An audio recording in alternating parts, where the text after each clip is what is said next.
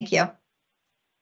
So in three, two, Good afternoon, and I now call to order the meeting of the Curriculum Committee for September 7th, 2023. In accordance with Board Policy 8311, the chair of a committee at their discretion and after consultation with the staff liaison may convene an in-person committee meeting. Otherwise, all committee meetings will be held electronically. Today's meeting is being held virtually and broadcast through Microsoft Teams. In order to efficiently conduct this meeting, all voting items this afternoon will be done by a roll call vote. Board members will say their names before making and seconding a motion as applicable, as well as when requesting discussion on an agenda item. Ms. Cox, please call the roll to determine the presence of a quorum of the committee. Ms. Lichter, I'm present. Ms. Pumphrey, Present. Ms. Booker Dwyer, Present. Ms. Domanowski, Here. Ms. Stolarski, Present. Okay, thank you. Ms. Cox, please call the roll of staff members participating in today's meeting. Dr. DiDonato, Ms. Shea, Here. Dr. Elmendorf, Present. M- Ms. Myers, Here. Dr. Wisted, Present. Ms. Fisher, Present. Dr. Kraft, Present. Ms. Stansberry, Present. Ms. Bailey, Ms. Larson, Ms. Wicks, Present. Dr. Wolf, Present. Ms. Mashinda, Ms. Holly Brilliant, and Ms. Foster. Present. That's it.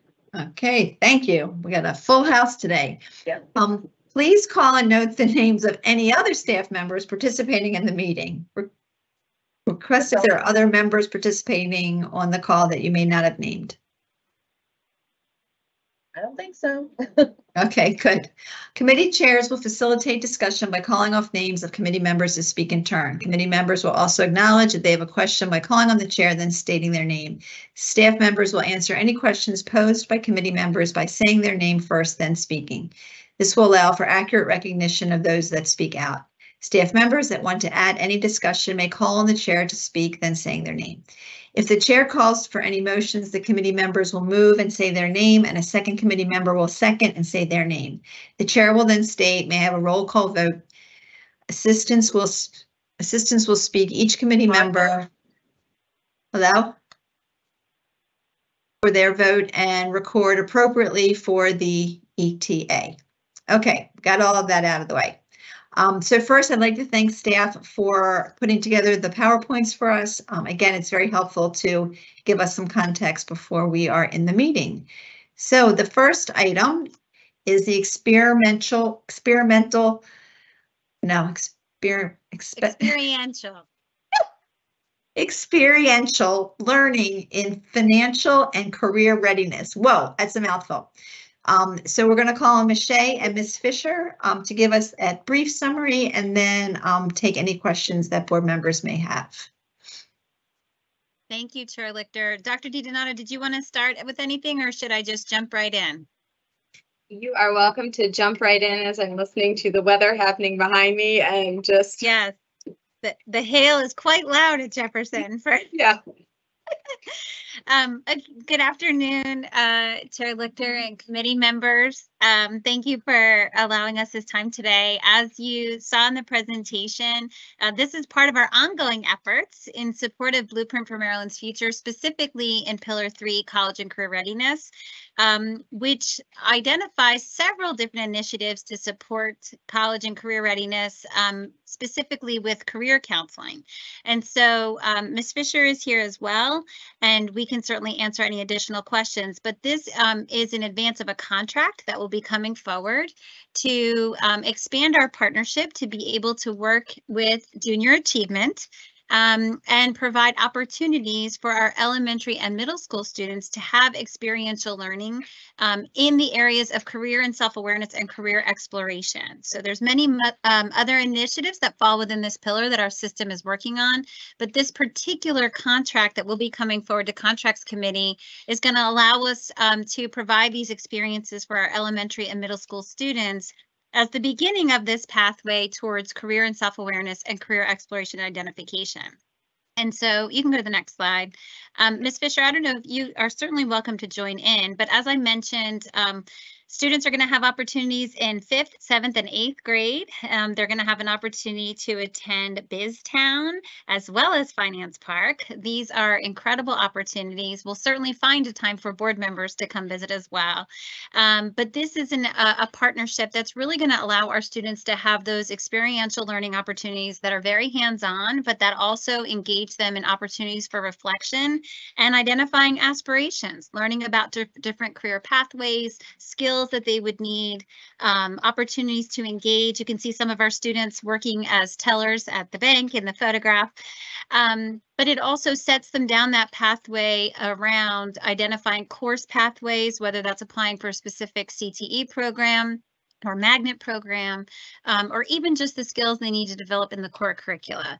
Um, so uh, Ms. Fisher, I know you've been working really closely with the team in CTE and in social studies on our end that are partnering together as well as with junior achievement.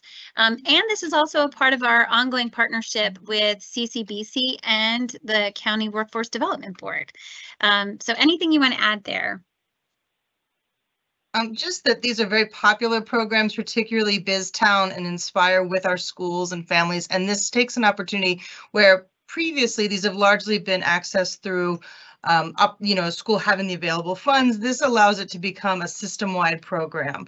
And so that's really one of the biggest shifts with this is it um, takes it from, you know, and you know, something that happens for some kids to something that becomes part of the BCPS student experience. And so that's what we're really excited about in terms of these pieces. The one piece that is relatively new is this Finance Park, which is around seventh grade. That is a brand new program um, that we've been working to kind of implement and it started, we piloted it some last year and we're really excited to really launch it for all of our seventh graders.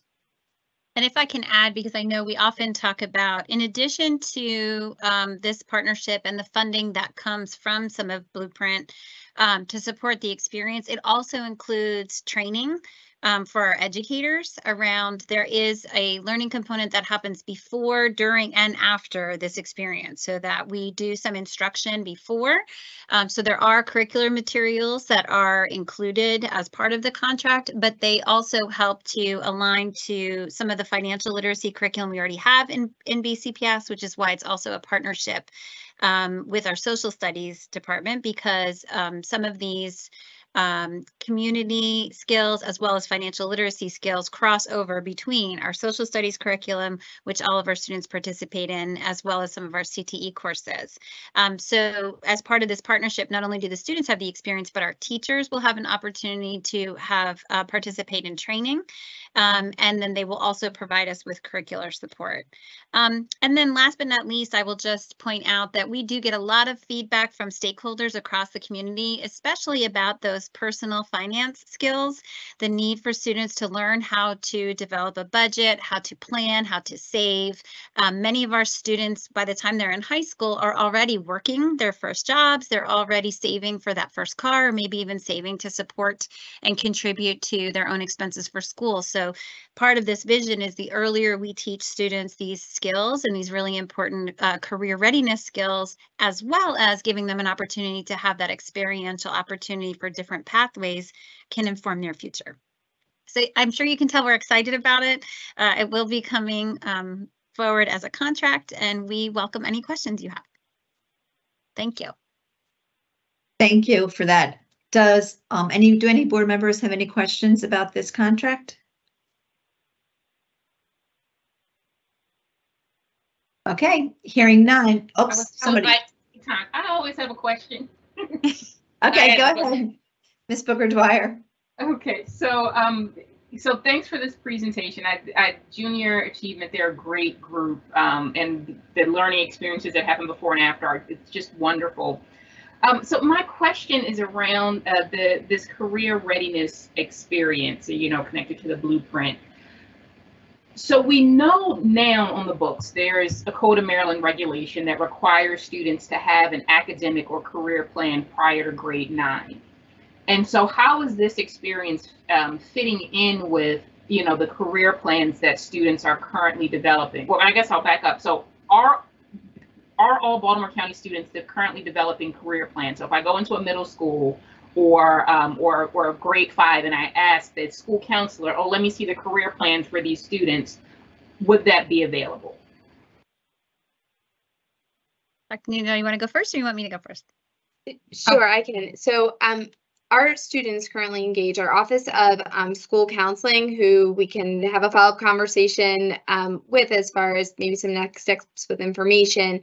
Um, does engage students with a six-year planning process that does include looking at course pathways, as well as looking at, you know, career pathways, CTE. Um, it may be discussions that, you know, based on a certain career or something a student wants to do, certain courses may be recommended pre-registration for courses for the next school year. Um, there is at this time not a current consistent format that's done with each school. Um, the Office of School Counseling has provided a little more autonomy to the schools with regarding um, creating those doc documents, forms, and the survey questions that they use with students. Um, they are looking at, as a matter of fact, it was part of a discussion in a meeting earlier today with um, the our county partners, CCBC and Workforce Development, um, to talk about creating a more consistent format and structure for that. Um, so that is something that our Office of School Counseling is looking at. One other item I might add um, is that in the Inspire piece, the part that we have JA Inspire, it is actually written in there to interact say, with that six-year plan. So that is part of the pieces that we've, you know, working to develop and um, lean into some of the existing structures, but then enhance them. Right, I was going to offer the same thing. Some of that curricular material that comes with each of these experiences, the after the experience opportunity would be the direct connection that I think you're seeking.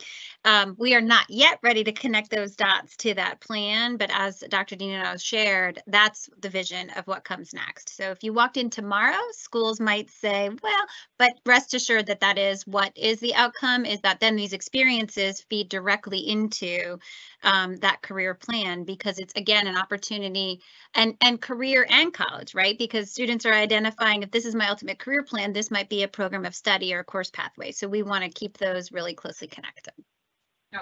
Thank you. That, that's all I have for now. sure Okay. She said for now. Okay. i heard that you. part Any, anybody, um, other questions about this first contract? Yes, I just had, I just had one. Go ahead, Ms. Domanowski. Um, I, you already answered this. I just wanted to kind of make it more clear. This is going to be something that's, um, written into all curriculums for these grades, you know, fifth grade. It's not going to be something that they have to seek out and find. It's, it's going to be something that's going to be available to them.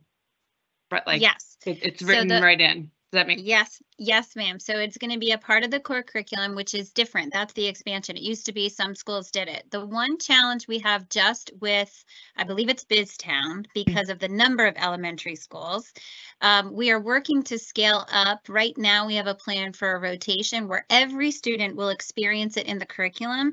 Some students, it may be virtual as opposed to the hands-on, simply because of the number of days available and the number of students we're trying to serve in that experience. So we're working with JA. Um, our vision would try to have the same experience for all students, but um, every student, it's built into the curriculum as an expectation, not something that families have to seek out separately or that they would have to fund separately. Um, but just in full transparency, we are large as a school system, and so we are currently navigating um, how to get enough trips in without starting on the first day of school to make sure that um, every student, so every student will experience it in fifth grade. Um, they just, some might experience it virtually, and we're working on a rotation. Every student will experience the Finance Park, and every eighth grader goes to JA Inspire. Thank you. Sure. Ms. Deleski, do you have a question? Um, yes, so thank you um, for your honesty regarding the demands on all of the fifth grade students. The BizTown seems truly amazing. And I just wonder, so that all students could have the hands-on experience, would it make sense to maybe expose some of them in sixth grade and sort of um, Yes. yes. balance it out that way? Because I just don't see how it could be the same if It can't be nearly, we, we agree, Ms. Dolsky. And so Yeah. when I said that, where it is right now is, um, we, that's why we have a vision even about rotating schools, whether you experience it in fourth or fifth grade, so that somewhere in your elementary experience, you, knowing that, of course, our populations are transient and it wouldn't be perfect. Same thing we've talked about, um, with sixth grade, would that be a more reasonable,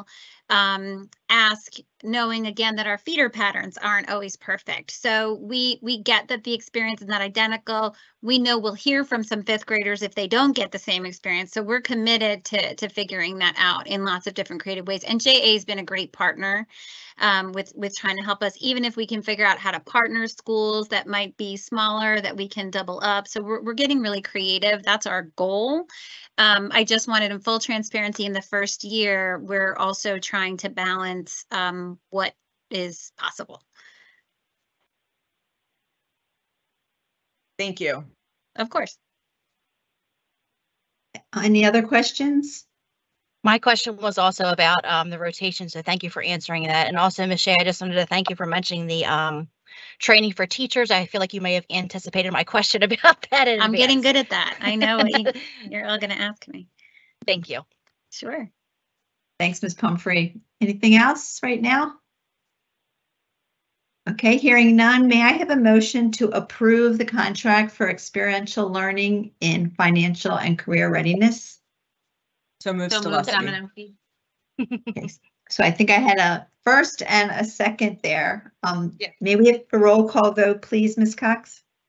Ms. Lichter, Yes? Ms. Pumphrey, Yes. Ms. Booker Dwyer, Yes. Ms. Domanowski, Yes. Ms. Stolarski. Yes. Thank you. Thank you. So that contract, um, we did approve. The next you. one, you're welcome. The next one up is the reading intervention for secondary schools. And for that, will we call on Ms. Shea and Dr. Kraft to provide the summary and answer any questions. Thank you. Dr. DiDonato, do you want to, I just always want to make space for you if you want to chime in. Otherwise, we'll just get rolling. I appreciate that, but let it, we can keep moving. I can Keep chime in later. Okay, great. Um, so again, this is a contract that will be coming forward. Um, many of you who've been on the curriculum committee for some time have seen this graphic um, previously. And so this really represents our vision for uh, reading multi-tiered systems of supports. So of course, our ultimate goal is to ensure that our secondary, that our elementary students, and we've made, you know, we, we've launched our new curriculum, we've been working on our foundational skills because our goal would be that we could send our students into the secondary grades um, prepared to participate in that tier one ELA core. We know that our current data indicates that we have far too many students who are not um, at that proficiency level. And so it is necessary for us to have a menu of curricular programs aligned to different areas of reading, um, both in foundational skills and structured literacy through vocabulary, fluency, and comprehension. And so part of what we wanted to bring forward today, and I'm going to turn it over to Dr. Kraft to, to offer some more details and then open it for questions because I know you had an opportunity to listen and observe the, the fullness of the presentation. Um, but our vision is to be able to provide a menu or multi-tiered systems of supports for students. And one of the products that we've had um, great success with um, full implementation and, and usage is our HMH Read 180 program. So Dr. Kraft can, um, I know in the presentation, she highlighted a couple of places where we saw success, um, specifically pointing out that accelerated growth, students making more than a year's gain in a year's time, which is really the vision for any type of acceleration model of support. Um, but this will be coming forward as a, a contract as well for a spending authority increase. And that's to allow us to be able to provide those licenses for individual students. So Dr. Kraft, I'm going to invite you if you want to talk a little bit more specifically about it, but I just wanted to frame the context of uh, where we are and um, where we're going. Uh, yeah, so thank you. I always uh, love talking about literacy acceleration uh, so that all of our students can be college and career ready and uh, whatever their post-secondary pathway is. And so uh, Read 180, uh, like Michelle said, is one of the options that we have for comprehension-based interventions. Um, and it is also a highly rated under ESSA um, intervention. There's very few for that secondary comprehension and Read 180 is one of them. Uh, we uh, have tremendous growth um, with Read 180. And I just want to highlight that um, in the 1920 school year, we had in terms of secondary schools, about 13 schools actively offering reading intervention. Um, and at this year, we're at 45 schools that are offering an evidence-based intervention for our students. And so um, in addition to having this program, I just want to highlight the work that our secondary schools have done to make sure that our students have what they need. And so uh, we are uh, willing to, I could talk about this all day, but I want to make space for questions. I know that we, you listened to the presentation. So uh, let us know what questions you have and I'd be happy to answer them. I just had a quick comment, if that's okay. Go ahead, Ms. No, I'm really, I, I'm having, um, had a child go through the Orton Gillingham, you know, intervention and seeing how much it improved, um, his direction and reading and really, I'm excited about this and I'm, I'm glad. I, I'm hoping it will be in all schools and that everyone who needs this will get it because Yeah. it really turned, like, it turned our lives around. So I appreciate this very much. Thank you. Th- Thanks for that comment. I I just have a question or a comment. Just could you give us a little bit of explanation on the slide that you have up right now, talking about the percentages? And those Yeah. percentages don't align with the percentages that we get on some of our test scores. Right. So So, yeah, absolutely. Thank you so much for that question. So, oh, I'm sorry, Michelle, did you want to start? You know, when I start talking about MTSS, I'm like, let me tell you. Um, and so I'm a really big believer in just not throwing around the word MTSS, but I really do believe that when we have a multi-tiered system of support that all students can achieve at high levels. And so what this um, triangle is, is actually the national averages that say that 80 to 90% of your students should be able to be served through tier one instruction with differentiation and scaffolds. Approximately 5 to 15% of your students will need a tier two. So you're doing all the things in tier one, you're doing it with fidelity, you're using high quality instructional materials, you're differentiating, and they still need a little more. And then there really should be five to 10%, and, and some say three to five, um, but we landed around 5% when we, we looked at the different national models that should need that intense tier three support. Um, and what, what, uh, Michelle and I can tell you is that that isn't our current reality. And so when we think about what our current state is versus our ideal states, the slide that you see in front of you would be our ideal state. That's what we're working towards. And so right now we have to just take inventory and say, well, where are we at and how are we going to make our numbers mirror what the national numbers are telling us it should look like in a multi-tiered system of support.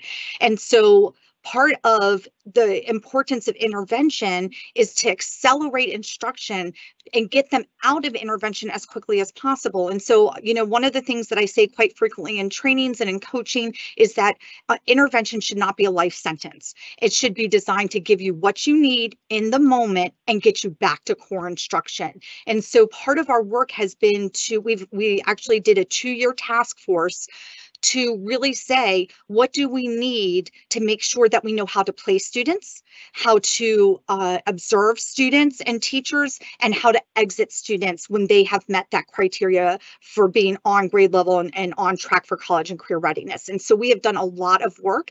And, you know, and this is not an excuse, but I'd like to just mention that there was a pandemic in the middle of that. And so our numbers aren't where they I'd like them to be.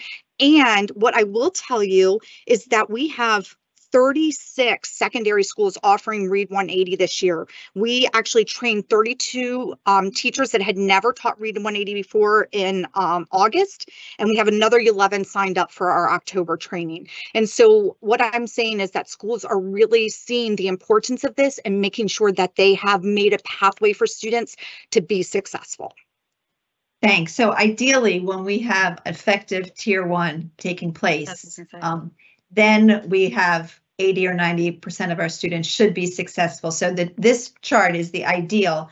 Our This is our ideal now- state. Right. Our This is not our right now- current state, but Okay. I, I believe we can get here. Right. I truly, Right. truly believe we can get here. And, and, and I know in a little bit, we will be talking about our update on into reading. Now that we have a high quality instructional material that has numerous reports on the efficacy of um, implementation and student results, we will really be able to do a lot of stuff at core that maybe we were having to intervene before because there might have been some holes in some places. And so what we can say is we now have an aligned curriculum that mm-hmm. spirals, that is to the rigor of the standard. And so some of this will be that we are going to be able to offer less intervention classes because they're going to get what they need in core. Thanks for that clarification. Ms. Pumphrey, do you have a question? I just, uh, more of clarification. So this intervention is only for secondary students, not for our lower primary grades, correct? That's correct. Correct. So And- th- this one was just around the Read 180 contract, but Okay. um, I do have, I, I, I certainly have other documents that talk about what we do at elementary. Okay, thank you. I just wanted to clarify. Thank you. Yeah, thank you. Thank you for that question.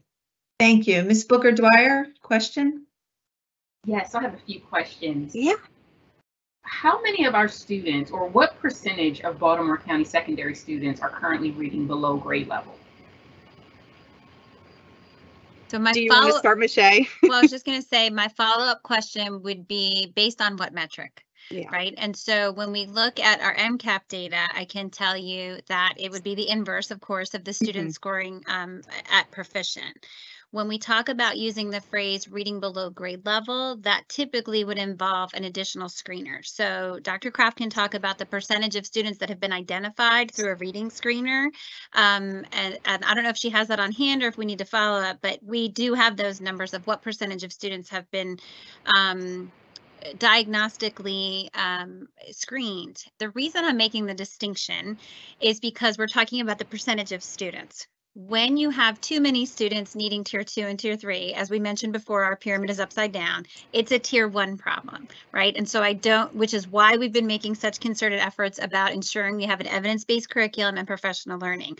So I would hate to to label those students as being reading below grade level when really their proficiency is not measuring at grade level, but it would be two different numbers. I, I hope that makes sense of what I'm trying to say. No, it makes total it makes total sense, and um, and and I'm really looking at not so much the MCAP scores, but those that have been that Absolutely diagnostic. Yep. that you know that you are reading below grade level, Mhm. because I I I really do feel like we're in a state of emergency, right? I agree. And I, I get we just got this new curriculum, and it's going to take years before we see those the the outcomes of that work. And so I'm wondering, what can we do now? Like I know, you know, uh, uh, Ms. Domanowski, she talked about how great the the Orton Gillingham uh, Plus program is, and it is. It's wonderful, and I get it. It's tier three. Less than five percent of your students need to be there. But at what point in Baltimore County do we say this is a state of emergency for our students? We have a significant number of students who have been diagnosed as being as reading below grade level, and I'm sure if we test some others, it's going to appear that they're reading below grade level. And so we can't just teach the curriculum. I mean, the curriculum is great, but so what is the strategy there to to catch these students up because they don't have another year? And I, I get with the multi-tiered support, you got to go, you know, this way. But at what point do we say, okay, we're throwing this triangle to the side for a little bit, and we know that this program works, and so we're going to invest our money in that for these students that have been diagnosed as, you know, reading significantly below grade level. And we'll come back to the triangle when we're more in a stable state. But right now, we're not in a stable state to implement this multi-tiered system of support as intended. So, uh, Dr. Daniel, you want to go first? Or you want me to answer? So, wh- Ms. Booker Dwyer, I, we couldn't agree more. We know we are absolutely in a crisis state with our student achievement, and we know that we need to do some significant things differently immediately. So, part of the work with meeting with secondary administrators, working with our colleagues, the executive directors in the Department of Schools, has been a very clear message around the need to screen students who they have concerns about, and students who qualify must be placed in a reading intervention.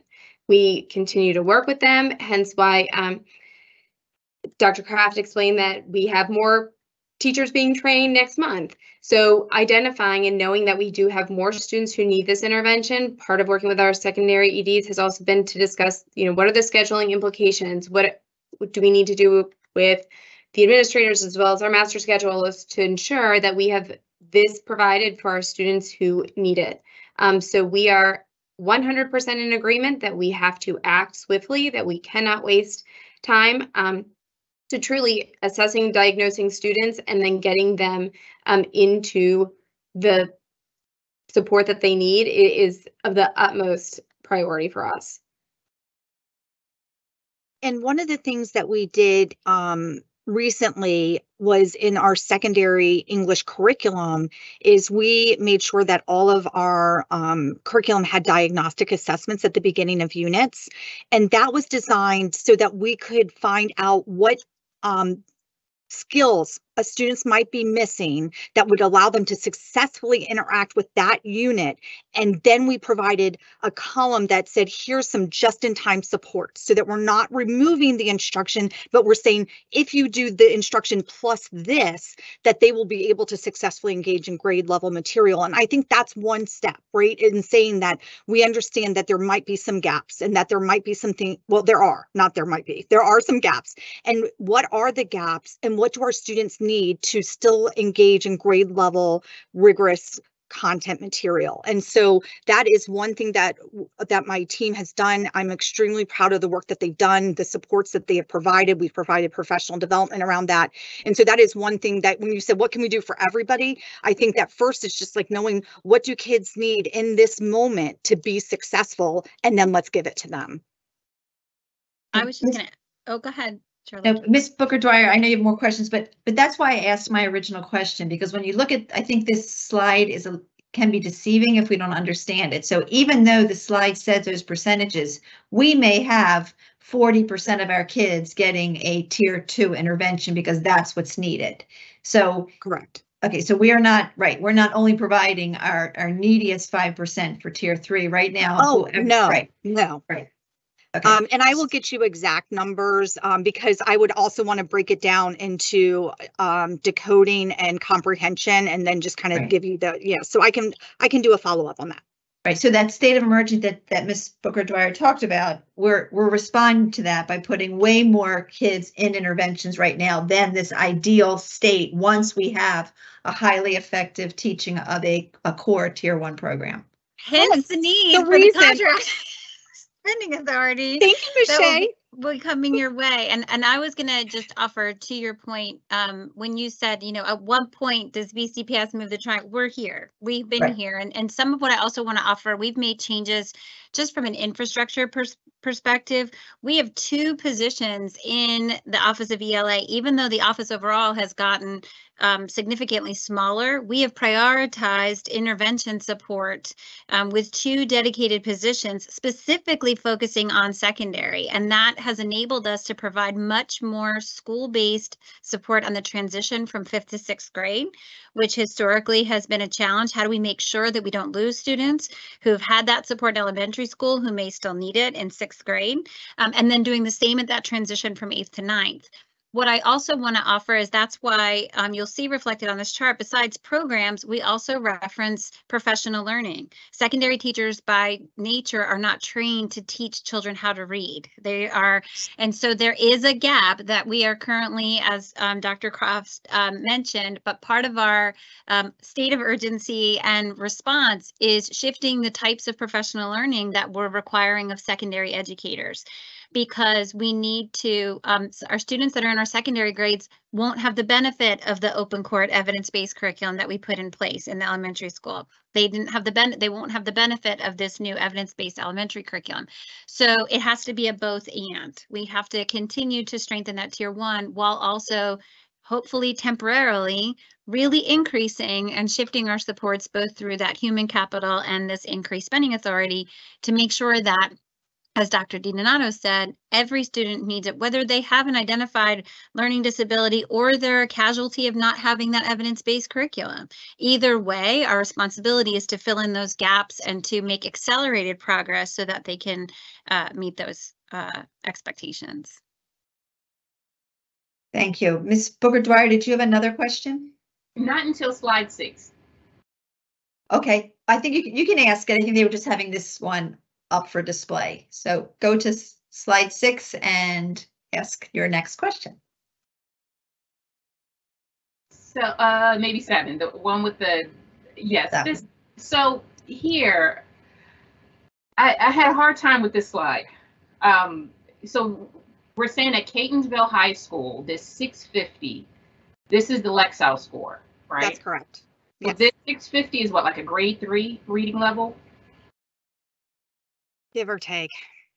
So what grade level are these students? Kate, this is the high school collectively, or this is ninth graders, tenth Oh, graders? no. The, these are students that have been in our intervention. Um, these are, this is just, um, students that enrolled in Read 180 to give you a sense of the growth over time.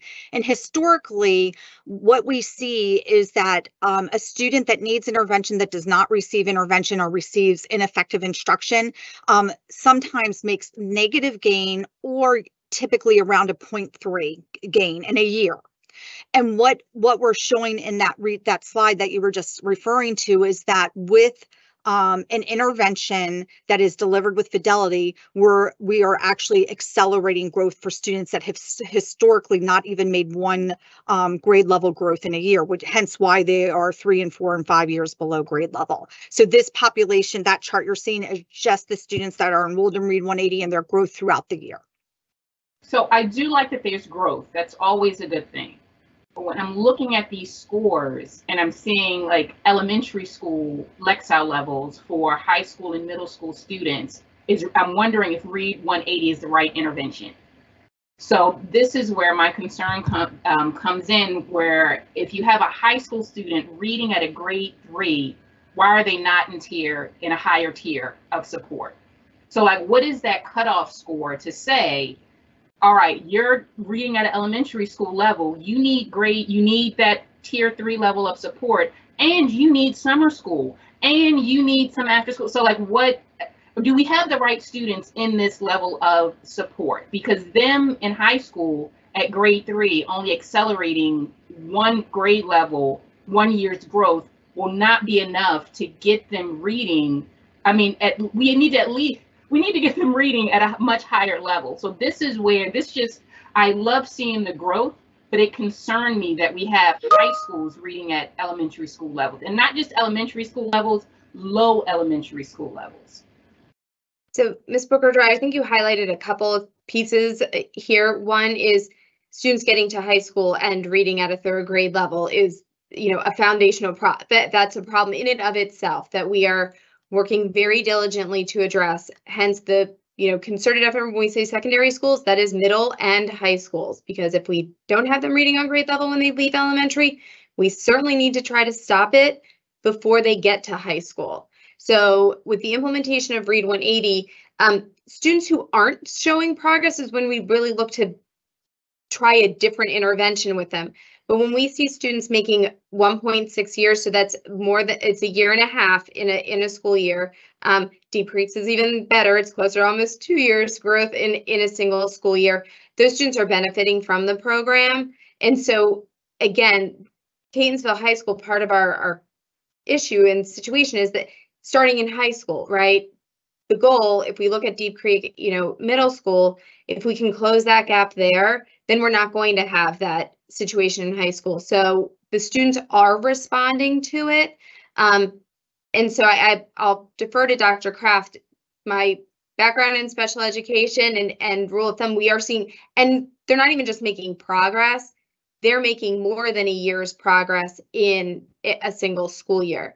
Um, so I, that that would be the trajectory that we want to see happen. Um, we do offer summer school. These students might be recommended, maybe recommended. However, summer school is optional. Parents can select to send their students or not. Um, students may participate or not. Um, so there's, you know, things that we can do. We've offered, you know, with a lot of the ESSER funds had tutoring programs, but again, while students can be recommended to participate in them, students may select or parents may select for them not to participate in them. Um, so being able to see this kind of results during a school day instruction where we have them they're going to be with us during that time, um, is truly going to help us make that progress. Dr. Kraft, did you want to add? But, God, but wait a second, this is a tier two, this is identified as a tier two intervention, correct? Correct. So, so why would those students, if they're third grade in high school, why would they not have been given a tier three intervention instead of a tier two? Can I start and then I'll, uh, Yeah, Dr. Krebs? of can- course. Yes. Yeah, so um, because the the nature of the tiered interventions isn't just about the grade level, it's about why the student is currently reading at that grade level and their response to the programming. So typically, when we think about a tier three intervention, it oftentimes is a full replacement. Um, it typically is used, it has to be taught by a specifically certified or trained individual, oftentimes the special educator. It's sometimes taught in a pulled out or self-contained setting and I'm saying typically because of course students are not a monolith. And so we don't say, we do typically say two or more as a basic window, but a student who's reading at this grade level might actually be a reflection of a lack of evidence-based instruction and responses to that student. There might not be any specific developmental reason for the student other than they haven't had the evidence-based high quality instruction uh, delivered in a consistent format and the opportunity for that. So that's when we look at um, whether or not the student is actually making accelerated growth before we move to a tier three. We always want to try to have that least restrictive approach first to see that response. The other piece that I want to add here is there is a unique aspect of adolescent learners. When we're talking about students, as you all can imagine, in the middle and high school who are not successful readers, that comes with a whole host of other social and emotional, very critical skills that matter. Read 180 is unique and really well renowned in that it honors the fact that they are still 13, 14, 15, and 16 years old. They don't want to read about an eight year old's birthday party. You can't just put them in any text because it's written at that Lexile level. It is very specific that it intersects Lexile level with developmental level. They're still teenagers. They still have that same social piece. And the research is clear that that's critical for adolescent learners in particular. And so when we're thinking about different tiered intervention programs, we're trying to make the best fit for the student. And so while the number of years below grade level is a factor, so certainly we think about two or more being a piece of it, it's not automatic that we just group kids based on the current um, reading level. Um, I think, you know, as we look at the data, we also work with schools because we also need to make sure that the data is reflecting um, high usage, consistent implementation. We make some changes to things like frequency or duration of the intervention. What does the group size look like? How much individual attention? So there's many other factors in terms of implementation that can continue to accelerate the progress students make or can in some cases um, be an inhibiting factor. So um, all of those are components that are considered when um, choosing the right intervention. But I, I did want to just add that piece about um, the, the adolescent literacy needs and, and that other piece that's so important. And I'm just going to add a little bit everything that Dr. DiDonato and Ms. Shea said. And um, this is one measure. And so we are very, when we look at a student and, and do a placement into reading intervention, we try to triangulate data and have a minimum of three data points that we look at. And so not every student um, test in a way that it shows up um, in terms of, of what they can do in that moment. And I'm not, and I'm just saying like you, there's a lot of factors there. Um, and so we are seeing that growth. And then also high school, uh, you know, when you start thinking about uh, courses for credit and graduation, you always have to balance out because Ms. Shea just referred to typically when you go into tier three, you go out of core. And so in a true MTSS model, they might not take English because we're saying they need a double period of reading. Um, and so the, the, all of those then impact graduation and college and career readiness. And so um, I would say that we are starting to see some really um, good progress. I actually, um, before I moved to the district office, I taught Read 180 at the high school level and saw tremendous, in a different district, but saw tremendous growth of my students.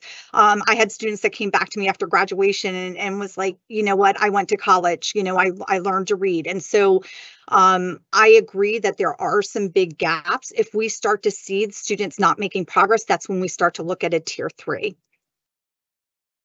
Miss Booker Dwyer, do you have a follow-up to that question you started? I'm just, I'm not comfortable with, if Read 180 is the intervention for these high school and middle school students reading at elementary school level, I'm not comfortable with that intervention for them. Um, I'm not comfortable with approving the contract if that is what this is being used for. I don't think it meets the intent of what Read 180 was designed to do. Um, I, I appreciate the growth. The bigger issue, and that I can't, I can't, it doesn't sit well with me, is that we're graduating students who are reading at an elementary school level. And if we're not, I would rather see that money go somewhere where we're investing in some intensive supports because we know that just to be functional in in our society to get a decent job you at least need to read at a grade seven. And we're graduating students from chesapeake high school in catonsville from what's on this thing that are not there. So we're doing a disservice to students. So i'm not comfortable with the read 180 contract if it's being used in this way. I can see if a student is like two grade levels behind or something like that but when we're talking about like this significant gap, something more needs to be done here. So, um, so that's that's my whole um, piece. Cause like, in, you know, just the other questions I have, like, when these types of data is being presented, just having the end, like, how many students does this represent um, for this growth, and what are the demographics of these students? Like, I had a whole bunch of data questions, but what just kind of stopped me in my tracks was just seeing these Lexile scores at high school and middle school level, knowing that you know, these could be 12th graders that were about to hand a diploma saying that you're college and career ready, but yet you're reading at fourth and third grade levels. May I offer a follow-up question, Ms. Booker? Because I, you know, I hear the passion and I share it, and I, I really do uh, appreciate that. So two things that I want to offer, and, and I know Dr. Kraft said this earlier. I do want to be cautious about saying this Lexile level means they're reading at a third grade level. The, the Lexile is one measure. We tried to give you two data points from within the Read 180 program of a before and after assessment to show growth. I I don't know that I'd be prepared to say if a student got a 650 Lexile on the Read 180 measure, that automatically means they're reading at a third grade level. I, I don't know that I, I think it's one measure that reflects within the internal, but I hear what you're saying. The second piece that I just want to offer, just from a practical standpoint, if we don't approve the contract, no one can be in Read 180, even the students that you might agree would be more appropriately served. So I hear what you're saying about the need to be more judicious in who gets what, having more specific data points around tier three. And I think we can, with Dr. DiDonato's leadership, come back with more about our acceleration plan altogether, because this is a tiny fraction of all the different things that we do, and that might help alleviate some of your concern. But I just want to offer while I hear, and obviously your vote is your vote, and you, you need to do what you speak. If you agree that anyone would benefit from Read 180, we have to have a, a contract or we can't. So I hear your feedback loud and clear. I think there are things that we can do to share other resources that we have in place that might help. And no doubt, we are all here because we know we can and must do better for these students, and it's not okay. So, um, but I just want to offer those two pieces. I think if, if again, with Dr. DiDonato and Chair Lichter's permission, we could have a whole meeting just on acceleration at the secondary level, the all the pieces that we do, all the ways that this supports that, and address a lot more of your questions. Um, because I do hear it and, and I do share it, and it it's not um, it's not anything we take lightly. Um, I believe in the quality of the program. It's one of the very few that is higher, highest rated under ESSA. And so I don't want to overcorrect um, from a contract perspective and then not be able to serve the students for whom it may be exactly the right fit. So I just want to offer that um, as a as a follow up to what you shared. I appreciate that. Thank you. Can you switch the slide back to the triangle one? I know I said I didn't like the triangle, but I just want to see again. Um, okay, what the tier three, right now, we're using Wilson and Orton Gillingham for tier three, correct? But That's but correct. For And those are and one- visualize. Sorry. Go ahead, and visualizing and verbalizing if it's a comprehension, okay. Are those all one? Okay, are those all one, I know that Orton Gillingham is one-on-one, correct? Um, they have group sizes that are very small, sometimes two to one, sometimes three to one. I think uh, Wilson Reading identifies three to one as the ideal ratio, but Dr. Kraft can, it may be up to four. But yes, it's a much smaller ratio, which adds to the complicating factor of some of the decision making, for sure. Okay, all right. Thank you. Ms. Zaleski, you have a question about um, this contract? Yes, thank you. Um, and I do agree with, you know, a lot of the things that have been shared. Um, I just wonder, um, because the the student buy-in with the reading material is so important, especially middle school and high school where they have to enjoy what they're reading. Has there been any initiative to put little libraries in classrooms in middle school and high school, similar to what they do in elementary school? I know the Exchangery has books um, to just move along with getting more kids to love reading and then enjoying reading in their independent time, which would then support their growth. Absolutely. And uh, Dr. Kraft, I also invite you. So I love that we're talking about flooding rooms with books because you're right. Um, it's such a critical part of developing literacy for students. Um, we do have um, specific resources, including classroom libraries. These programs have leveled opportunities for students. And what I mean by that is, again, that intersection of what's something, if I'm 15 and I'm not reading on grade level, that I'd be interested in reading, to your point, to hook my love of reading, but that I can read. Uh, that's a very specific type of text. We're not going to hand 16 year olds decodable texts to read with their friends. That's not going to happen.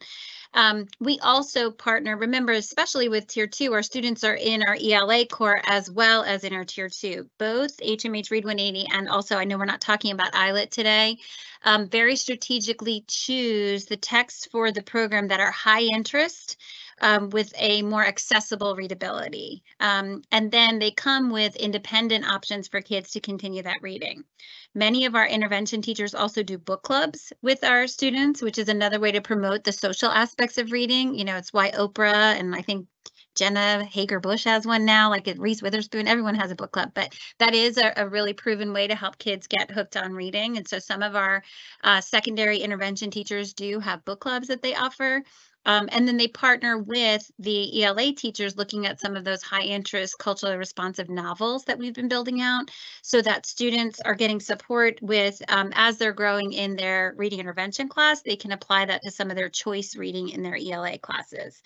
Um, Dr. Kraft, I don't know if there's anything that you want to add to that, but uh, we definitely agree the more more books, more text, more options to read. Also, our kids like to read different type of media. They're very interested in some of the digital magazines and some of the um, different periodicals. There's a lot more um, with um, short apps, even um, different bloggers, influencers, different types of reading, which can help get kids into that idea of uh, seeing reading as a part of their social and um, school growth. So, um, Dr. Kraft, anything you want to add to that?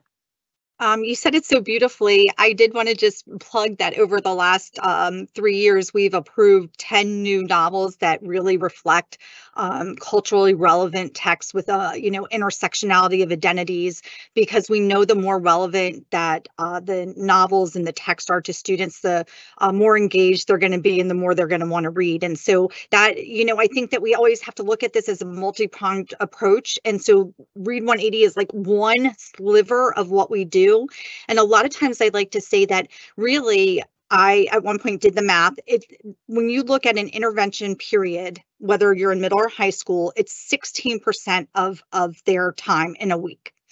Um, which means that that other 84% of the time is where they are getting literacy instruction. And so part of our approach has also been um, that we have a position dedicated to disciplinary literacy because we know that everybody has to own literacy. And so the more experiences they have, this isn't an English thing or a reading thing, this is an everybody thing. They read everywhere. And so we've also uh, really wanted to make sure that students have multiple varied literacy experiences experiences uh, in that other 84% of their day to really help them uh, increase their literacy achievement. Thank you for that. Ms. Pumphrey, do you want to make your comment now? I actually have a question and a comment now at this point. Um, it, back to um, Ms. Booker Dwyer's concerns. Um, are- Uh, is it possible for you to provide us with additional, the additional information that you mentioned prior to this going to the full board for a vote? Because I have some similar concerns and I, I don't want to not approve this knowing that some students need it, but I would feel more comfortable knowing that we have additional information before a final vote is made. And just to clarify, are you talking about the number of students we have enrolled or um, I did, while we were, uh, you know, answering some of the questions, I did pull up all of the students at Catonsville um, are in ninth grade. So that that data came from the ninth graders. Um, but yes, I would be happy to pull any data that you want. Um, I was able to, you know, pull that up relatively quickly. So if there's specific pieces of data, so, and I actually looked and it's, it's, it was one uh, 79 uh, Lexile growth. And so if they were able to do that in ninth grade, then when they grow another 200 Lexile in 10th grade, right? And so we're getting closer. And I do hear what you're saying. And, and we want all of our students to graduate college and career ready and ready for whatever post-secondary option they want. And um, in that particular case, I, I was able to pull that data right quick and just tell you they were all ninth graders last year. That is very helpful. Thank you. Yeah, of course. Um, and my comment is, was more about, um, back to, and that's why I said it's slightly off topic. In the future, I'd like to see, or, you know, soon, I'd like to see some additional information regarding interventions for our primary grades, especially since we are implementing new curriculum. Um, and because we all know how, how important, you know, the data shows how important it is for students to read by grade three. Um, so to get in there immediately before, you know, eh, they get to the high school level and we're implementing some more of these interventions. You are speaking my language, Ms. Pumphrey, and you invite me back anytime you like, and I would talk to you all day about what we're doing in the primary or the intermediate or the secondary um, intervention. So I, you know, please, I would be more than happy to come back and talk about what we're doing in the primary grades. And we have some exciting things going on uh, in our primary grades also. Thank you. So, um, Dr. DiDonato and I will put that on, on the agenda list, um, for an upcoming meeting. So I'm looking at, um, the question that was just put into the chat. So this contract is supposed to go to building and contracts on Monday to be approved by full board on Tuesday. Is that correct? Correct. Okay. Yes. Um, and if we do not approve it today, what implications does that have? We cannot purchase the number of licenses that would be needed for the students that uh, would be identified for Read 180. Because we're seeing an increase, because of our sense of urgency to try to respond, we um, are outpacing what we had originally predicted when we calculated the spending authority. And, and I think that's really significant to say that these are students that we have already identified as needing that we don't have a license for. And that, and that's good news in the sense of we have pushed so hard to say, if students need it, we need you to give it to them. And then they're like, okay, yeah, we'll do that. But they didn't tell us in the spring, but it's still good. It's good that students are going to get interventions. And so um, when Ms. Shea says we wouldn't, we would be outpacing it, we've already outpaced it. And so we're at a point where we would have to then um, intervene in a different way that wouldn't include Read 180 if we don't approve it. Okay, thank you for that. Um, any, I know we've spent a long time, but this is an important, um, contract. Oh, Ms. Domanowski? I just have one quick question. Um, for the Read 180, how many teachers are actually certified for the, um, in secondary for the, for the, um, For Read 180. yes, thank you. Reading, not just trained, but certified. So uh, what do you mean by cert? Read 180 is not like Wilson in that it has a separate certification. Some of the intervention programs do I'm have Sorry, their I meant, I meant Wilson. I'm sorry, I meant, Oh, I meant- I okay. meant the Wilson reading system. I said that wrong. Sorry. That's okay. We can get you follow-up information for Wilson, the number of teachers certified for Wilson reading, because we do that in partnership with special education, but we can follow up and send that through Dr. DiDonato to share with all of you. Okay, thank you. But Read 180 in particular does not have its own separate certification. It just requires training and of course, teacher certification. Okay. Ms. Booker Dwyer? What would be the other intervention if Read 180 contract is not approved? Or how would the students identify, uh, so, okay, so this is what I'm getting at. I think that some of the students that are currently identified for Read 180 could benefit from a more intensive level of support. And so if those students who are significantly behind grade level, would it be possible that if you have the current number of seats, then the money that would be allocated to ex extend or you know add more seats to this contract could that then be used for more intensive intervention? Um, you know, is there an openness to look at the criteria that's being used for a student to be identified for Read 180? Because if we approve the contract as it is, then it's just saying we're going to keep doing what we're doing. We're just going to put those students into to these seats who may really could benefit and see um, additional gains from a more intensive um, service. Ms. Shea, do you want me to start? Could you? I had to relocate just for one second and then I'll Yeah, try. of course. Um, so you're asking so many good questions and like I have so many things I want to say and I'm trying to be mindful of the time. So while we have classified, I, I guess I want to back up from it. While we have classified Read 180 as a tier two, it is actually um, can be used as a tier two or tier three. When we talk about tiers, it's it's it's complicated because a tier can have to do with size of group, it can have to do with time of uh, allocation, like a 45 minute a day versus a 90 minute a day. Um, it, it could have to do with um, what additional um, supports and resources there are. So um, we do not use it as a tier three because when we decide a student needs a tier three, we move to a different program.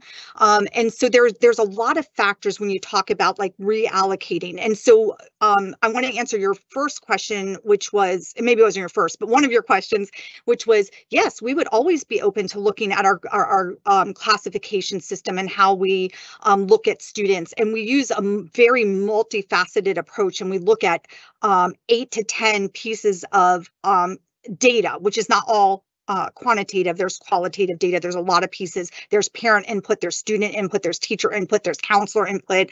Um, and there's a lot of things that are looked that are looked at before we make a decision. Um, at this point, there are schools that have they they don't offer both. For example, so you said, well, what would happen? And maybe some of them could go to a more intensive intervention if a team eh, because we use a team approach, right? So if a team said yes, we think they they need a more intense approach, eh, schools either opt into Read 180 or iLit, um, and so the schools that are currently using Read 180, that's what their teachers have been trained in. Um, and then we have another subset of schools that opted into iLit, and that's what their teachers have been trained in. Um, and and you asked some very interesting questions that are very deep right? Like i, I can't answer them in in like the next three minutes.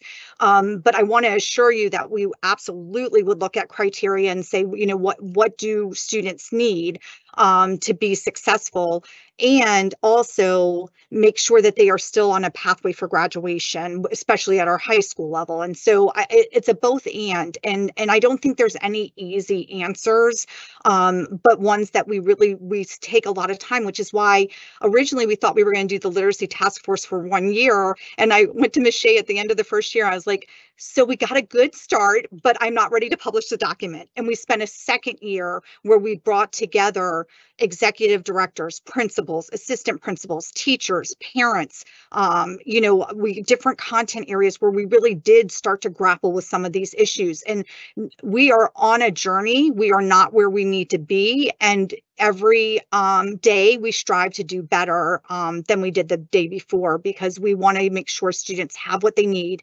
We also want to make sure that teachers are prepared to teach the students because what happens at the secondary level is a lot of our teachers haven't gone through a, a program where they have learned to teach reading.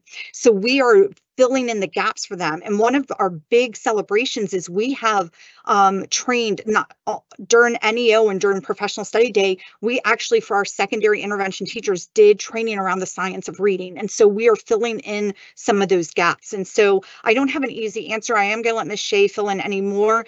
To, but to say that you know i think that there are you've brought some interesting points up and that we would have but it would be school is having to figure out, okay, well, I scheduled three read 180 sections, but now what am I going to do? And I have a teacher that's going to give a different intervention that they're not trained in. And so logistically, there's a lot of pieces. And so I'm not saying no, I'm just saying it's a lot to unpeel and figure out. Well, and, and I was just going to summarize by saying, just in full transparency, there'd be students scheduled in classes for a teacher that wouldn't have a license and wouldn't be able to access the curriculum. And so uh, I want to underscore that we're taking very seriously all of the feedback, and certainly there's a lot more to share. But if you asked me what would happen the Wednesday after the contract committee if this weren't passed, I just want to be really transparent. It wouldn't be that easy for high schools to pivot and to be able to reschedule students. It certainly is something that we will commit to engaging in because what would naturally happen is we would go meet with each school. We would look at the students currently identified. I mm-hmm. mean, I'm, I'm going to give you my action plan. We will go and meet with each of these schools because we already do. We will look at the students they currently have for Read 180. We will compare them to the data points and identify are there students better suited to be in tier three and then begin to work individually with schools to make that happen.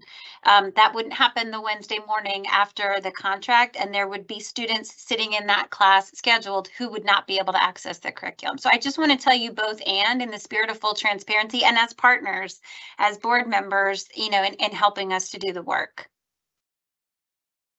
Okay, Thank you. That's all my questions. okay, I think we, we, um, we'll move on. Um, so I'm, I'm hearing, I, I will be voting yes on this contract, though I agree with um, the concerns that have been brought up about whether we have the, the right, whether our tier three, our true students who need a tier three intervention, are they appropriately placed in getting what they need? I also have a concern for our students who truly need just a tier two intervention. And I do believe in 180's ability to help our students who truly need the tier, the tier two. So for that reason, I will be voting yes, but I think this idea of the tier three interventions is something that as a committee, we obviously want to hear more about. Um, and also updates on progress monitoring for Read 180 for the students that are put in it. The data charts were pretty discrepant from one school having 1.7 months of gains for whomever was ever in there, but another school, middle school, having only one, um, one year's growth. So again, looking at the progress monitoring. So at this point, I am going to ask if someone will make a motion to approve the contract for Read 180 um, at this time. So moved, Domanowski. Is there a second? Second Stolarski. Okay, um, Miss, thank you. May I have a roll call vote, please, Miss Cox? Ms. Lichter, Yes. Ms. Pumphrey, Yes. Ms. Booker Dwyer? Yes. Chris Domanowski, Yes. Ms. Stolarski. Yes. Thank you. And I just, wa- and it- so it did get passed. I just want to acknowledge that I think that was a long conversation, but a, a needed one. I can see Absolutely. that, I can see the look in Miss Booker Dwyer's face and I'm, I, and I, I, I never have given a reason for my vote before, but I, I do think there's two different issues at play. Um, and I think it's also a good point about what data is brought to us, um, to make sure that the data says enough. Because if not, it leads to more questions. So we will leave it there. So it did get passed. Um, so the Office of Language Arts, you can take a breath at this point.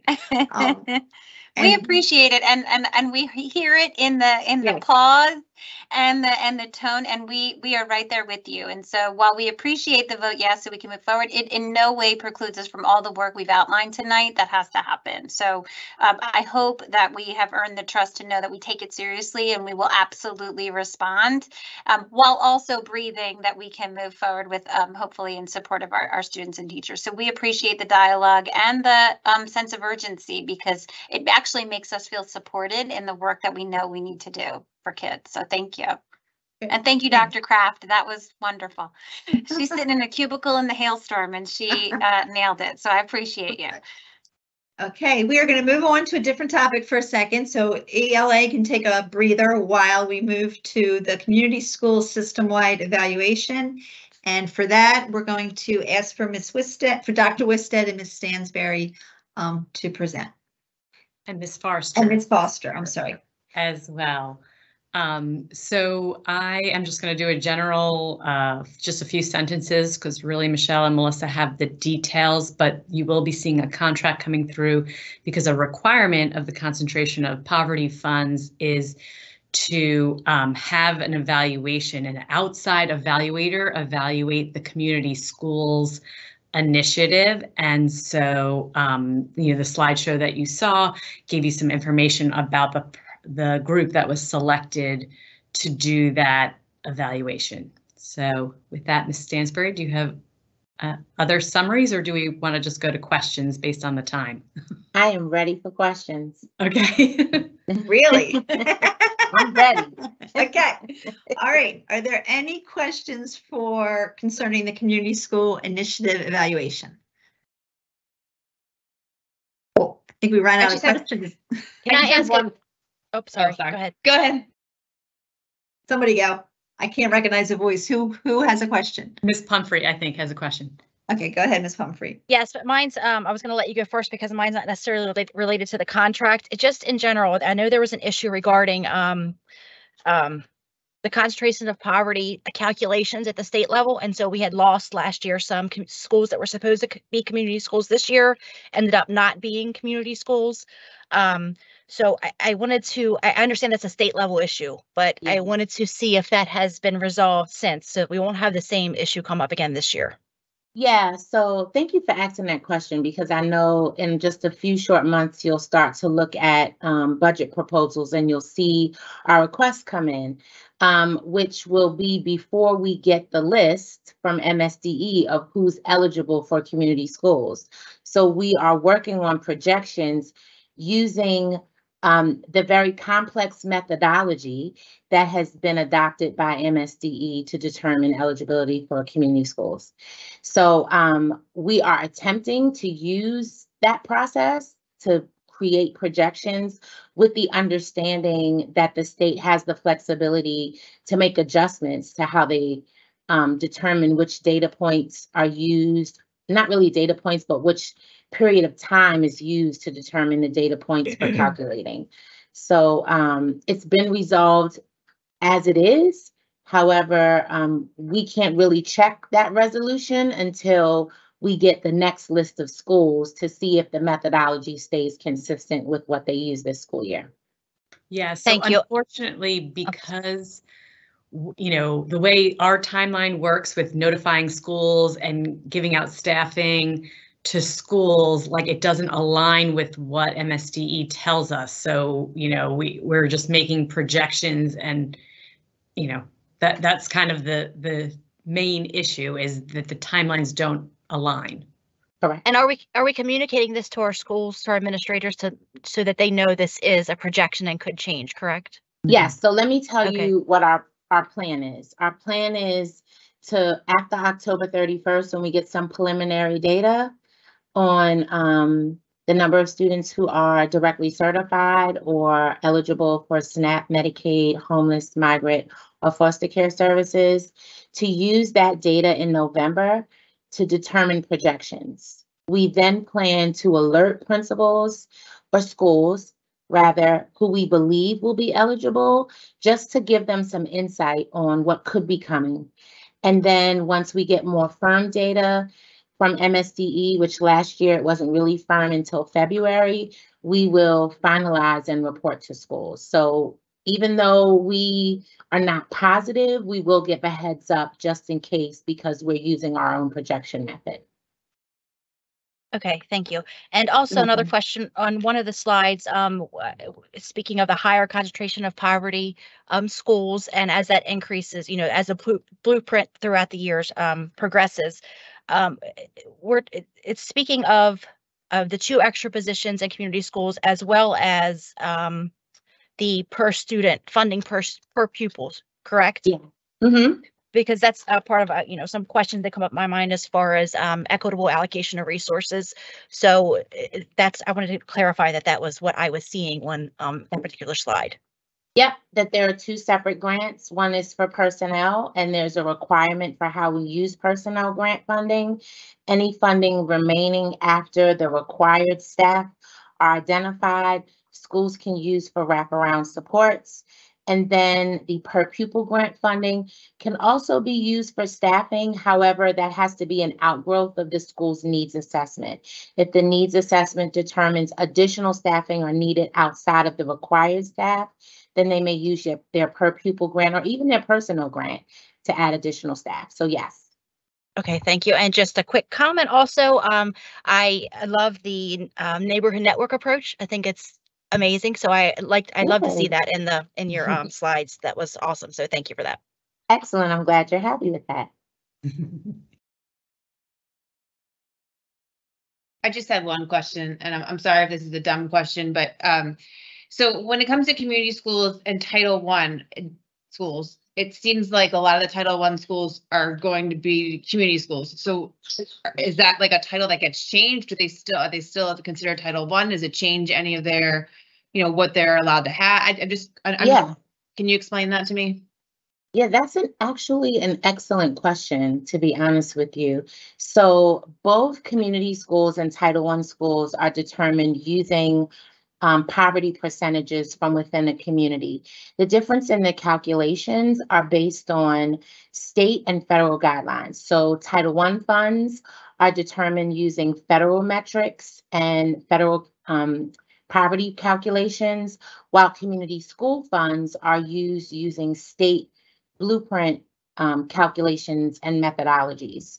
So there is a difference in how poverty percentages are determined for each group, but then the intent and purpose is also slightly different.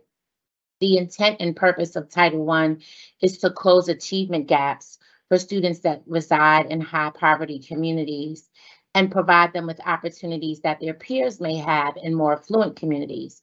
While it's very similar with community schools, community schools focus on connecting wraparound services to academic supports or connecting out of school time programs to in school time activities and, and areas of focus, as well as providing um, some additional supports to the adults that are um, supporting students outside of the school day. So it's almost like Title I takes care of a lot of the during the school day and academic pieces, while community schools is really focused on um, providing this holistic approach that addresses in and out of school needs.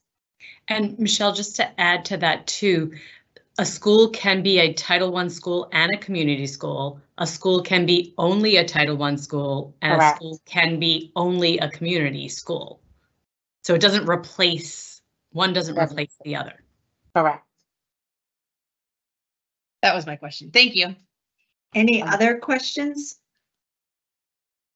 May I have a motion to approve the community school system-wide evaluation contract? So move Pumphrey. Thank you. Is there a second? Second, Stolarski. Thank you. Ms. Cox, may we have a roll call vote, please? Ms. Lichter, Yes. Ms. Pumphrey, Yes. Ms. Booker Dwyer, Yes. Ms. Domanowski, Yes. Ms. Dalowski. Yes. Thank you. Thank you. Um, the motion passes. The next one is aug- augmentative and alternative communication devices. And for that, we have Ms. Myers and Ms. Bailey and Ms. Larson. Good afternoon, everyone. Um, I'll try to be quick on this one for you. Um, So this is um, a contract for augmentative and alternative communication devices. The purpose of this um, contract modification is to provide for the continued purchase of um, augmentative and alternative communication devices required for students um, with identified disabilities. Those devices help to facilitate um, the development and the use of communication skills so that children um, and students can express their wants, needs, and ideas um, clearly. Um, so I'm open to questions or I can go through it further, but did anyone have any questions about this contract? Any questions for Ms. Myers? Okay, hearing none, I will, um, is there a motion to approve the contract for the, um, alternative communication devices? I know that moved, felt hard. Stileski. Thank you. Is there a second? Second, Booker Dwyer. Thank you. May we have a roll call vote, please? Ms. Lichter, Yes. Ms. Pumphrey, Yes. Ms. Booker Dwyer, Yes. Ms. Domanowski, Yes. Ms. Stiles- Stileski. Yes. Thank Yes. you. Um, before we go to the next, so motion or the contract passes, before we go, thank you, Ms. Myers, to the next topic. Um, are any of the rest of the topics contracts, Dr. Dean- Donato? We have So, three, three more things. yes, so the, um, secondary, um, English language arts, um, that's for an RFI for us to look at a secondary, uh, get information for secondary curriculum. Um, let's see, the HMH Into Reading are, um, some updates. And the elementary to middle advanced math sequence is not a contract either, but to share with you some changes in, um, content progression through elementary math in order to create additional pathways for students to have access to advanced academic math versus our current pathway, which is you are pretty much identified at grade four. Right. Um, and so some changes in that. So So these three are not time, as time sensitive because they're not coming to the contracts committee. Is that The- accurate? the secondary um, English. Yeah, okay. Okay, so the sec, okay, because it is um ten of six, and I just want to be um considerate of the time um for people, Yeah, so. may I offer one thing very quickly? The two that are time sensitive are the secondary RFI and the math sequence. And only because while they're not contract specific, they do impact our communication to schools and our ability to move forward. So um, that would be helpful for me. We can hold on the update for HMH Elementary. Okay, um, because I think Ms. Domanowski and Ms. Pumphrey are going, oh, never mind, Ms. Domanowski's, um, I thought she had to leave. So is everybody good to stay for till six fifteen? Or we have two back to school night people? Okay. I'm just trying to figure out how to do this in the time frame because I think we're gonna have a lot of questions. Um, but let's go to, so we're gonna defer the HMH reading update. That's okay, correct? Okay. Um, then let's talk, start the secondary ELRFI. And if people need to log off, we'll just hope we still have a quorum to vote on it. Can I just ask one quick question? It's not like um just about the HMH update. Will it be included in the um board meeting next week? I don't think it was a topic, it It's was, not a topic. I mean, right, There- unless, There's going to be some overview information as far as we will provide some general updates on reading. We are focusing on the elementary, so not as in-depth as this, um, but there will be updates on the HMH um, implementation. Okay, thank you. um, we can schedule another meeting. t- Um, instead of waiting for the next month's meeting, if board members would like us to schedule one to talk about the HMH reading update sooner, so. You can put that in the chat if you'd like it, but let's move on to the secondary E EL RFI, because that's time sensitive, correct? Oops. Okay, I'm getting, we're fine to schedule meetings, okay. So I'm going to jump in while they're giving you their schedule in the chat, if that's okay, just in the interest of time. So um, this presentation was to uh, let you know that we are embarking on the process as everyone is very familiar and we've already underscored the need for a strong tier one in our secondary grades. Um, COMAR also requires it, right? We have to have an evidence-based curriculum in ELA and math in um, pre-K through 12. And so we are embarking on the process. We've already had the stakeholder committee. We included lots of data about who participated as outlined in Policy and Rule 6002.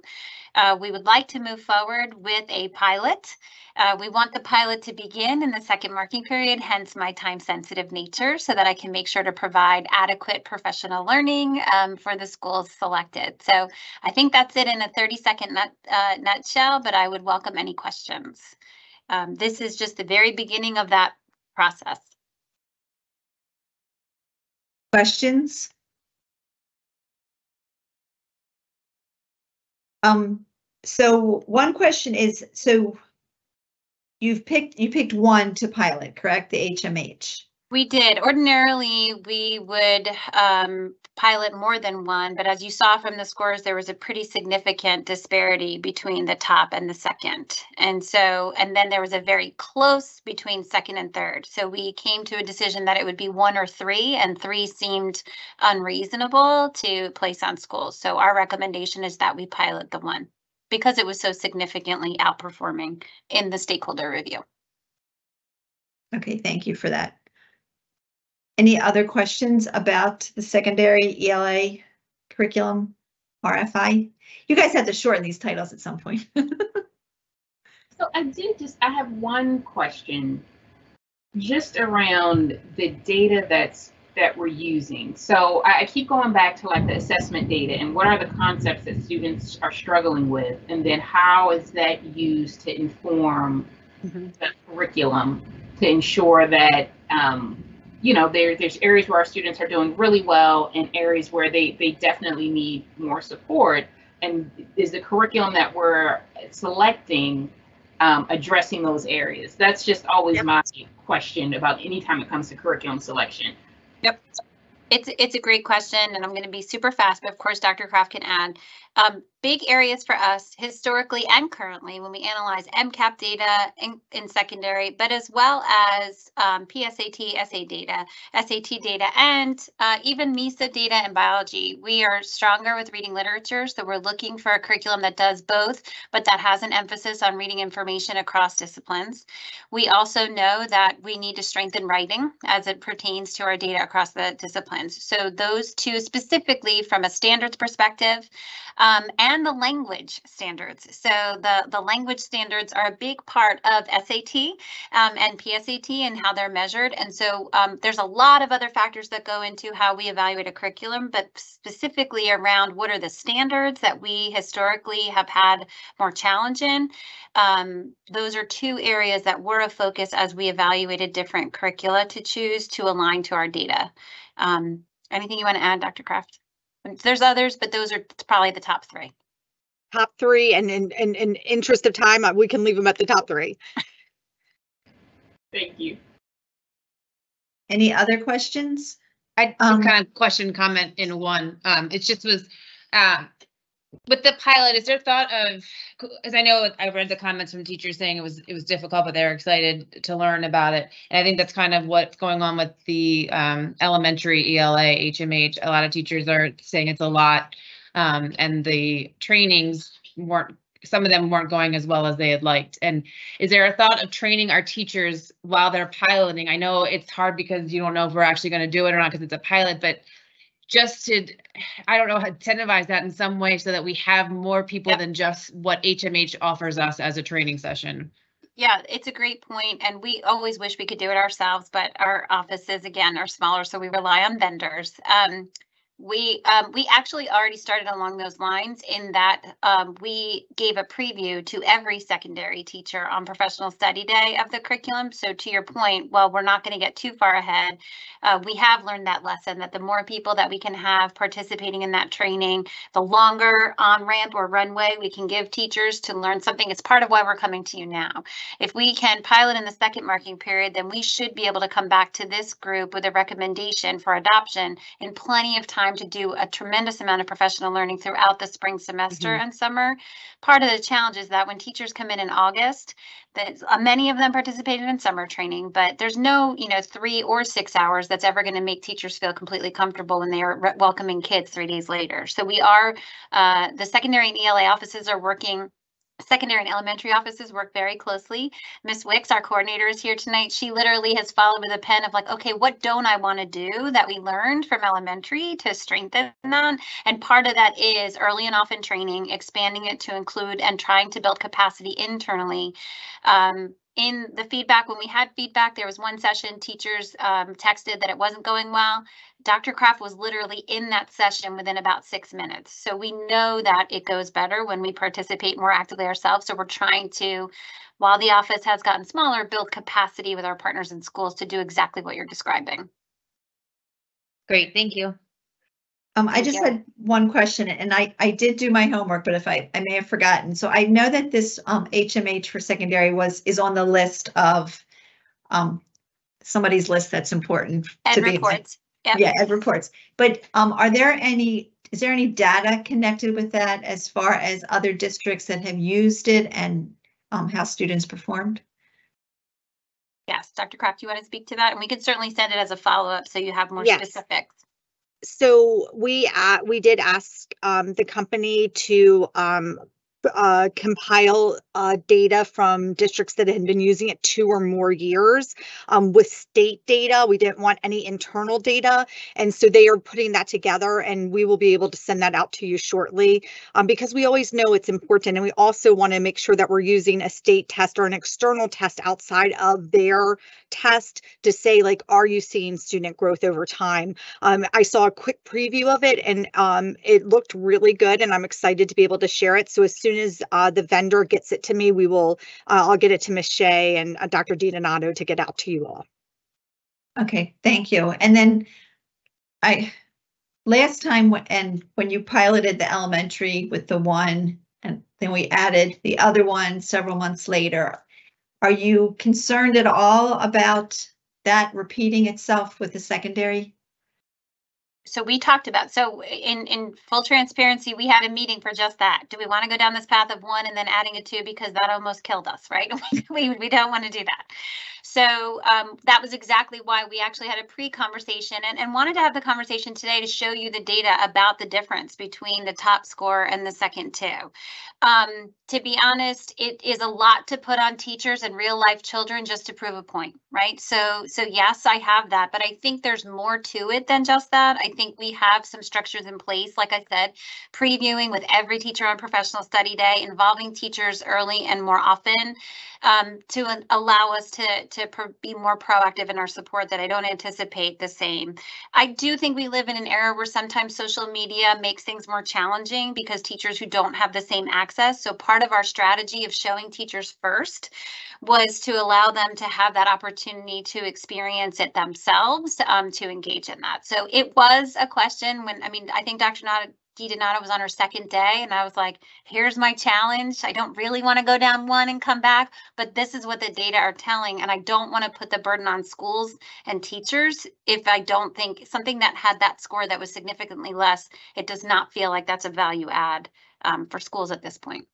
One of the challenges also was truly the second and third were so close together. It would be very difficult to justify doing the second without doing the third because their scores were so similar. And so you really are doing one or three. And we have a much smaller number of schools when we're talking, right? In elementary school, you can spread it out. And Right. um, so it would be a burden on nearly every school if we really tried to do it with enough statistical significance for comparison. So that was all part of our conversation. I just wanted to bring that up just um, because it was. but- yeah. Right. But I do think the proactive things, showing that many teachers ahead of time, I don't remember us ever doing something like that before. So I think you're right, um, more proactive and more eyes on it um, ahead of time, I think can only, you know, enhance the pilot. So thank you. Any other questions? May, so what am I, I may, may I have a motion to go forward with the secondary ELA curriculum RFI? So move. So- Okay. Second, Domanowski. Okay, um, Ms. Cox, a roll call, a roll call vote, please. Ms. Lichter, Yes. Ms. Pumphrey, Yes. Ms. Booker Dwyer, Yes. Ms. Domanowski, Yes. Ms. Stolarski. Yes. Thank you.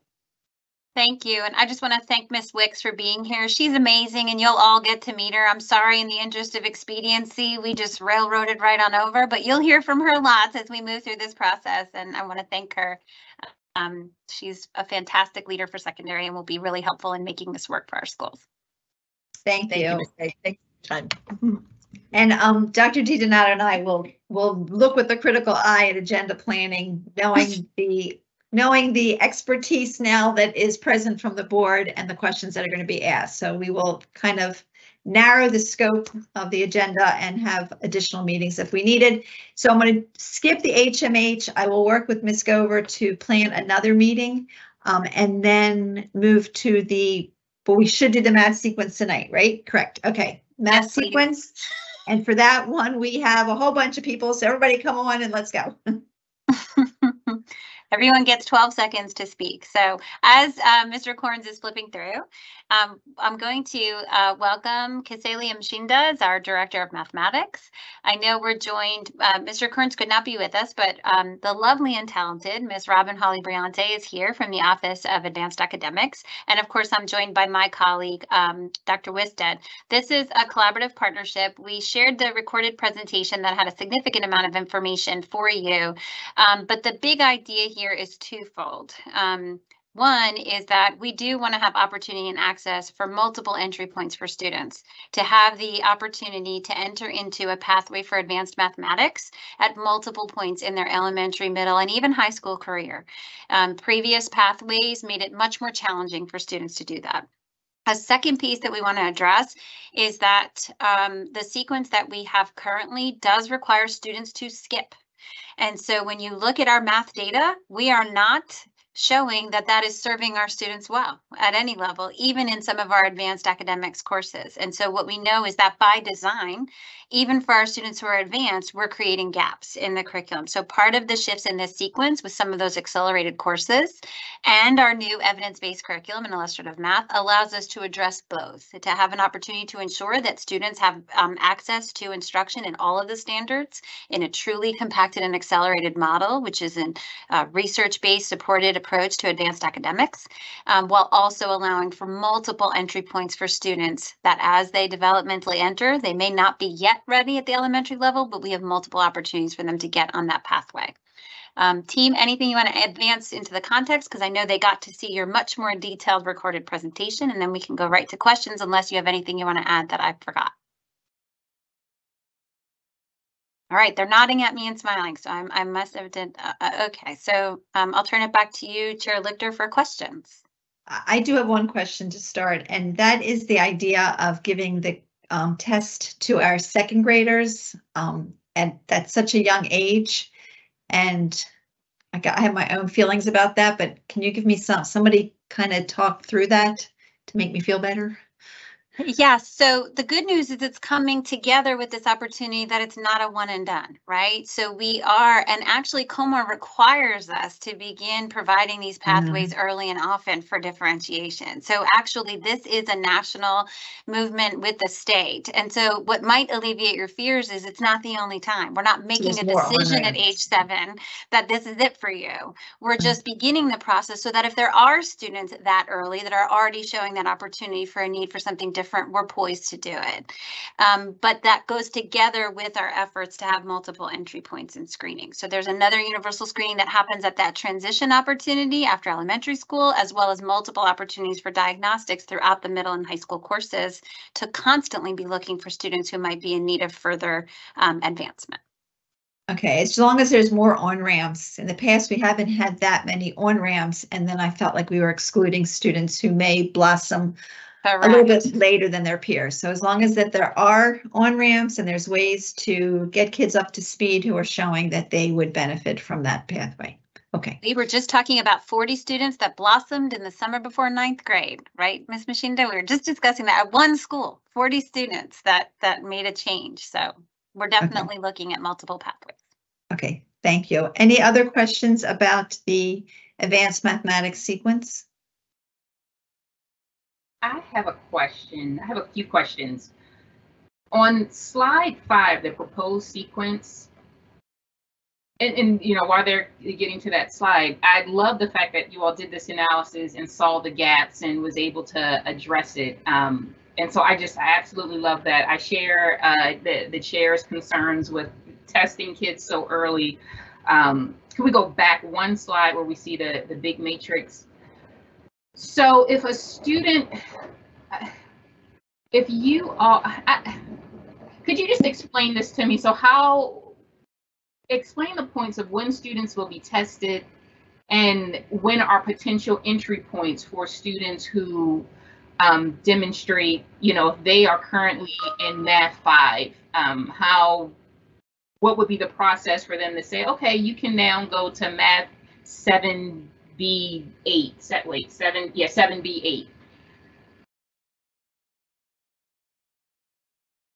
So the sequence shows this, the spread of um, approximately six years and four. And that's really the whole compacting. So starting with grade three, all the way to grade eight, they're accomplishing all of that. If I'm a student in, let them take me back to your example, in grade five, in grade five and I'm doing really well, I couldn't have a pathway to go to this, you know, math six, seven A or to se- seven B. If I was in grade five, I would have to just go to math six, even if I'm experienced demonstrating, um, you know, all of our students are gifted. So I don't want to say they're demonstrating giftedness or whatever, but they are performing at a higher level they would still have to go into math grade six and they wouldn't get an opportunity to go on the accelerated track until grade seven. No, that so if the the top two rows show both students in grade five. Um, so there's grade five math in that top row. That student would go and begin the accelerated process in middle grades based on the data. Um, and we have students doing that this year if I'm in grade five and it looks like the progression and my my time in grade five, I need that time to be in depth, and I go to grade six. So in grade five, that is another another you know data point that would allow a student to enter the accelerated pathway. And in grade six, I can begin six, seven, eight. So now I'm beginning to do that compactedness. I will have an opportunity to get to algebra one in grade eight. Okay. Now, if I'm in mathematics four, okay. I won't be able to move up to mathematics six, seven. And so once I'm that once I've been identified at grade two that I'm on the accelerated pathway, then I'm on that pathway. And if I'm identified at grade four, I won't get an opportunity to, or am I even, do I get an opportunity to be identified at grade four? What are the options for me? I'm, I'm going to start and then invite Ms. Machinda. So really the, the, the goal is that the formal screening may not happen at the end of grade four for all fourth graders. We don't want to universally screen all kids every year. But any student who's demonstrating that acceleration, we would do you know, in response to that. The current pathway, we don't want to also create gaps. So advanced five students are in a grade six, 7A. If I'm in fourth grade, there's also opportunity for enrichment extension built into that curriculum. That would be an opportunity where we have those tasks built into the fourth grade curriculum that allow students to experience those grade five standards. Then we would be able to know, we would we would not, I'm not going to say never because we know that there are students that can, but we would not by program want to take students from grade four to grade six, 7A because we'd be by design creating a gap in grade five. They wouldn't have those standards. Instead, we would use some of the more uh, curricular based opportunities for students to demonstrate that. So if you're doing very well in, in fourth grade math, we're going to give you those enrichment tasks that are taking those standards up through the fifth grade level, and we're going to use that as a body of evidence at the end of that fifth grade year, that's when there's a curricular pathway that allows for that formal acceleration. Now we are also, and you see this more reflected in the pink lines at middle school, um, we've been investigating and starting with summer opportunities where students have an opportunity. A lot of times we think about summer programming as just for remediation, but this is an opportunity where we have had some schools, mostly at that um, middle school and high school level, but certainly an option for elementary would be to offer that acceleration opportunity in the summer for that same student. We just don't want to, by design, create a hole in those standards because what we're finding in some of our data is that it's creating gaps for students. So in this revised model, then either you're identified at grade second or grade five to second, third, five, and then really six, seven, eight, and nine. really, it's just that fourth to fifth that's a little bit difficult because like this year, we're going to be universally screening second and third graders to be able to, make, to make that adjustment. And so there's actually really fourth to fifth is the only one that there's not. You can see with the yellow arrows and then the pink arrows where we've I designated those um, entry points. Um, it's really only the fourth to fifth where there's not a current one identified, but that's where there would be opportunities for those enrichment tasks or summer programming options. And, and then I just have other questions just around like the demographics of the students who are currently on the advanced pathway, and then how do we, what the, I, I know you said it's going to expand opportunities, but but what is the predicted or what is the, is their target for what you know for those for the students who will be identified, and then how are parents notified? Like eh, this is what I find is is often a, a common thing. A lot of times parents they don't know, and so I, I just I still just have a lot of questions about this before I'm like totally on board with um with the revised pathway. I see where we're going, but I don't know if it's crystal clear to me just yet. I, I don't know if it's just the graphic and how I, I don't know what it is, but it's like I'm just trying to wrap my head around it and I would I would love to know like who who are the what's the demographic of students that are currently on the advanced pathway? How will this modified approach help to improve um, that access? Like I saw the made questions at the back and that was great. It, I would love to know the the answers to those made questions. Um, So let me interrupt for a second, um, Ms. Booker. So I, I understand that you're not ready to, um, vote on it. We're gonna lose quorum in a minute. I can't remember what the implications of not voting on this part tonight are, Ms. Shea, or, Yeah, so, and, and I will defer to Doc, I don't know that this is necessarily a vote because it isn't a contract piece specifically. What we didn't want to do was to begin working with schools, having never had an opportunity to have the discussion with board. So I, I, I don't even know that, and I'll defer to you, Dr. DiDonato, but um, I think this was more an opportunity for us to share with the board and receive your questions because, and the timeliness for me was less about a vote and more about, I need to be working with teachers and I didn't want to do that without offering the opportunity for board members. okay. Right, So it's Miss- really to be able to. oh, So sorry, Ms. go ahead. Delusky, you can go to back to school night and the rest of us can stay on just to do the Thank you for going to back to school night. Yes. I Just to do, no, no worries, just to do the questions and answers. So back to Miss Booker Dwyer. Um, so I didn't, I'm sorry I had to interrupt. I was just trying to let her go. So go. So like what and you may not have the answers now at some point whenever this comes back around um, for an official vote to you know just to have those uh, answers as far as the current demographics of students who are currently in the advanced program at you know different uh, entry points um, the, these answers to the questions that are posed on um, slide 13 those made questions and then just what is a communication strategy for parents so that they can advocate for their child or prepare their child since now it's so early. I mean, at grade two, you're not even really thinking about that. Um, and so how can, what is the communication strategy for parents so that they can prepare their child and proactively advocate for their child? So um, I can respond that as far as the demographic information, um, you're very timely because just last night, uh, Wade Kearns presented to the GTCAC the annual report that goes to the board. So this may or may not have been, I don't know when you received the annual report. It's my understanding you received it sometime in June. Um, so there's policy and rule that says an annual report must be presented to the board with certain information um, on demographics and um, you know attendance measures, suspension measures, things like that. And so Mr. Kearns has summarized that into a slideshow that he shared with the GTCAC last night, assuming that you all um, had received the report a few months ago.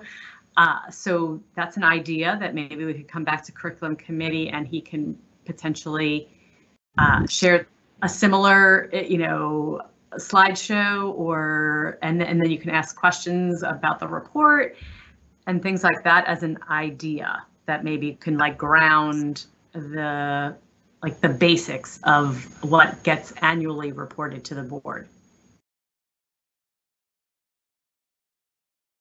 So that's for consideration for whoever does the next um, Agenda planning for the next committee. Okay. I, I um, think if I can add to some of the other questions, some of what you asked is about the referral and review process. So I know that um, Robin might also want to, and I know certainly um, Melissa, you can as well. In terms of communication for parents, there's a significant effort to communicate to parents about the universal screening process and what those opportunities are. Um, we also have, um, so so I'll let Robin share a little bit about that, which talks about your communication for for teachers, um, for students. Part of why this is so timely for me is because we do want to use this for professional study day with teachers and with principals so that they can continue to advocate and communicate with families too. Part of our opening up access is about these multiple pathways. Students who get to the middle school grades and begin to blossom and then it's too late for them. You didn't take, we know that algebra tends to be a gatekeeper um, and we're trying to create readiness for all students to be successful through that curricular design. In terms of your question about racial breakdown, as uh, Dr. Wisted shares those statistics, when you asked about the goal, typically with any product or program or initiative, you're looking for it to reflect your student population and the same ratios that you see overall as a system. What I will offer to you is while we do see, uh, we still continue to see some disparities racially, we actually over identify compared to national models of identification. And you kind of mentioned uh, yourself, Ms. Booker Dwyer said everybody's gifted.